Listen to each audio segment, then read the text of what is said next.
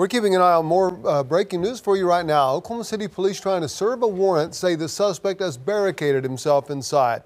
We want to go to McIntyre Law Chopper 4 pilot Mason Dunn near Hefner and Rockwell. Mason.